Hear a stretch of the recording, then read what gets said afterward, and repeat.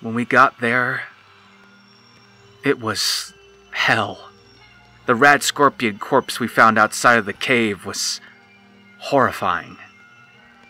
Massive claws the size of my torso, the stinger the size of my body, and its whole abdomen able to probably crush my windpipe if it even sat on me. Its arachnid eyes lifelessly staring into the desert wind. It was just a sign of what to expect once we came across a living one.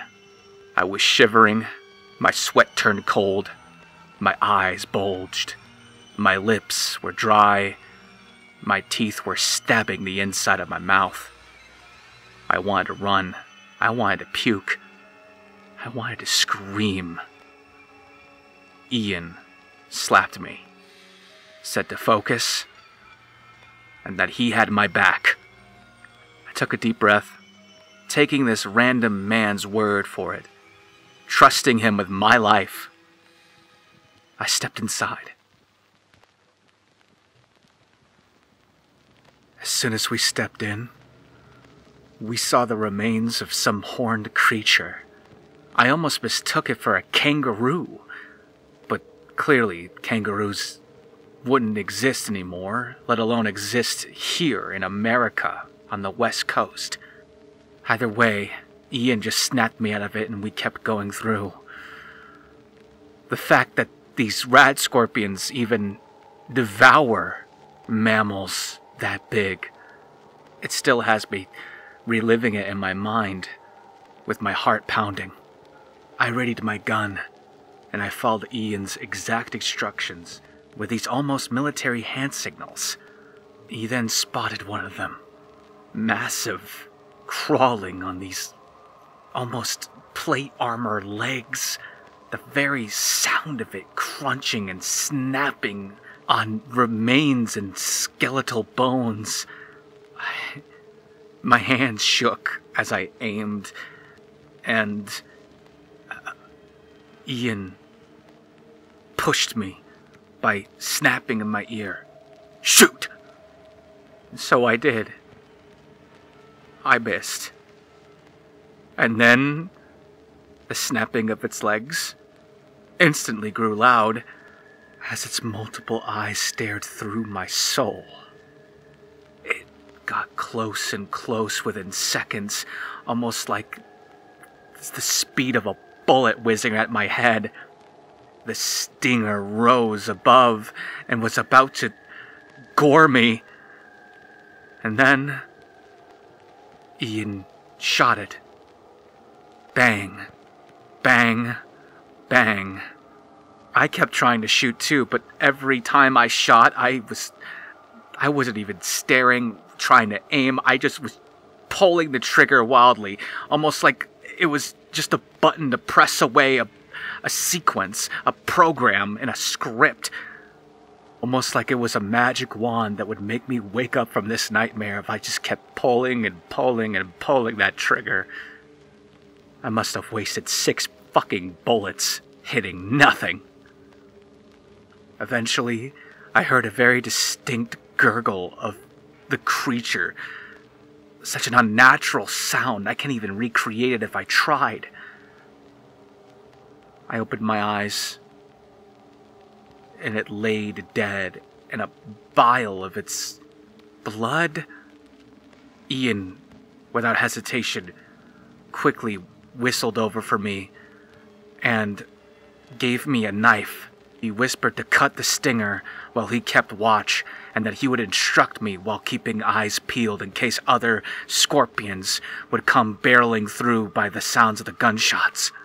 I did so very crudely, trying to stab through its chitin armor. It was horrible. Every crack and sound, the slime. Eventually, I got the stinger off, and we bolted back to town for Razlo to create the concoction. When we got there at Razlo's, his eyes bulged wide open, seeing me carry the big old stinger and slamming it on his table. As Ian casually told Razlo about what we were doing and how we got involved because of Aradesh, Razlo got to work immediately. He said that this concoction would take about two hours, and that the proper use of such an antivenom would be immediate after being stung, as he recommended for us to wait around town within those two hours. Ian would whistle over for me to meet him at the guardhouse. He talked in great length about what happened there at the caves and how I could have bettered myself in combat. There was a part of me that felt embarrassed, felt like I was being patronized too, but but at the same time this man had quadrupled the experience I even had stepping outside into this wasteland. Violence was basically his first language, and death was probably his second. Above all else, I needed a man like him out here. A man that could teach me the ropes of how to survive and how to endure all the hardships I'm gonna need to have in order to even get my ass into Vault 15. He boiled down everything I did wrong as essentially fear overcoming me and not even giving it a chance to stare it right in the face. Of course, as someone like him, it was like reciting his ABCs. But to me, I just couldn't fathom what the fuck he meant so casually about how to stare at something like that in the face and pull the trigger. It basically just ended the conversation with his tactic for me, which is to be live bait.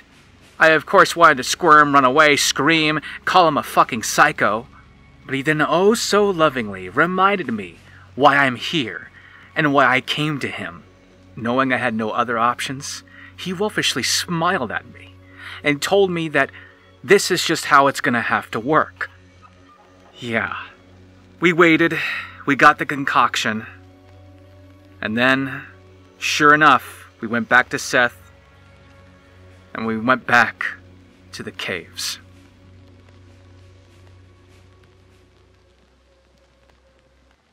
The repetition of Ian using me as bait where those critters, those giant fucking scorpions kept crawling at me with their stingers and claws ready to rip me to shreds. I nearly pissed myself waiting for Ian to miss just one shot for those scorpions to actually just tear into my flesh. Somehow, some way, it never happened. Because Ian, with all of his bravado and wasteland badassery, was actually able to land every shot possible. Bang, bang, bang. And all I could do as each scorpion fell is just look in disbelief because of how much it just kept going on and on and on.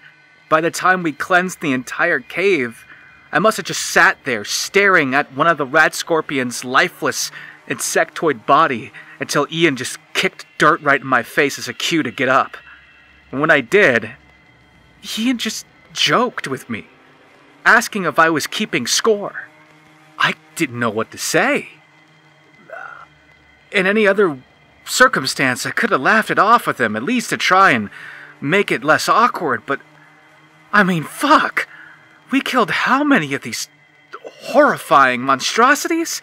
And all he could do was joke?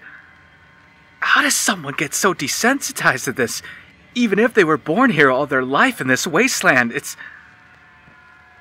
How do you not just want to break down in tears? How do you not want to just crawl into a ball? Either way, he made a note for us to go to each body and repeat the same process we did before when we took a stray to Razlo. And for about what felt like hours, we cut off each stinger, put it in Ian's bag, and went back to town to announce somehow, in some way, that we killed off all those rad scorpions.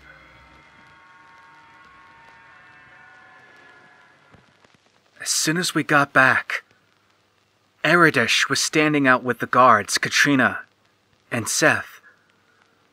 And like a magic trick, Ian just took from the backpack all the stingers and plopped them on the ground in front of him. And that made Aradesh almost giddy like a child, raving and cheering up and down, running up to me and blessing me for cleansing the rad scorpion cave. It was endearing, heartwarming. He said, We must celebrate, Wanderer, for your victory here has saved my people so much from grief and strife. And so, Aradesh almost ordered Ian and I to take hold in the guardhouse while they figure out a way to celebrate our victory. Ian just whispered in my ear, See what happens when you sell your services? And he walked off right into the house. What a strange world. Where less than a week this guy could have easily suspected the worst, but now I'm a savior to Shady Sands? I just don't get it. Maybe I shouldn't try. oh well.